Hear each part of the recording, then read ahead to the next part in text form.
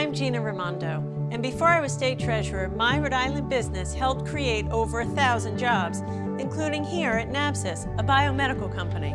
As governor, I'll use this as a model for how we create manufacturing jobs. I'll bring colleges and industry together to develop new products in marine science, green technology, and medical devices, and to train our workers to fill those jobs.